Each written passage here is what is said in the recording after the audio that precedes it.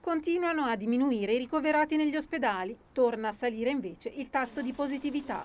L'aggiornamento sul contagio diffuso dalla Regione Lombardia registra, a fronte di 57.994 tamponi effettuati, 8.098 nuovi casi Covid.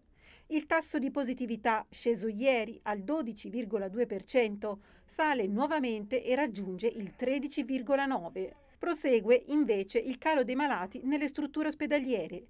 In terapia intensiva, con un paziente in meno, sono 37 i ricoverati in totale, mentre nei reparti ordinari, con un calo di 7 letti, sono 1118 complessivamente quelli occupati.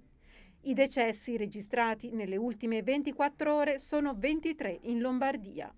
I nuovi casi, divisi per provincia, sono 2.635 a Milano, di cui 1.180 in città, 506 a Bergamo, 1.018 a Brescia, 565 a Como, 260 a Cremona, 321 a Lecco, 132 a Lodi, 369 a Mantova, 782 a Monza e Brianza, 439 a Pavia, 132 a Sondrio e infine 699 a Varese.